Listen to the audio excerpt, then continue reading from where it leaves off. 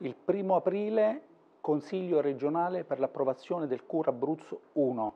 Andiamo in aula e il Presidente del Consiglio Sospiri accantona la bandiera dell'Europa. Ieri invece l'Europa viene incontro all'Italia e quindi anche alla Regione Abruzzo con 350 milioni certi di Recovery Fund che distribuiremo anche nella nostra regione.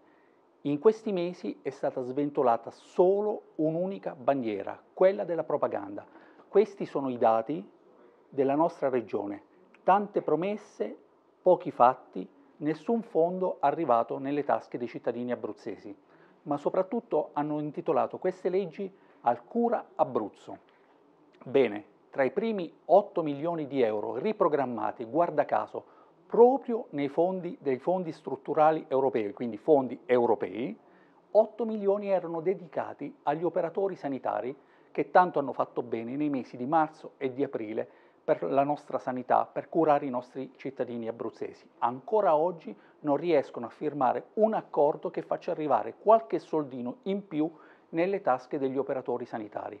E ancora abbandonati sono i tirocinanti che vivono con 600 euro al mese e che non hanno potuto eh, lavorare in quei mesi, ancora abbandonate sono tante altre categorie, da chi ha i figli a studiare fuori e paga gli affitti, a chi ha le borse di studio, a tanti professionisti, ai quali addirittura con l'ultimo bando si chiede di dimostrare una diminuzione del reddito rispetto ad aprile del 2019, ben sapendo che molti professionisti non incassano in maniera sistematica ogni mese e quindi alcuni potranno essere avvantaggiati e molti altri no. E su questa misura naturalmente chiediamo una correzione di quel bando.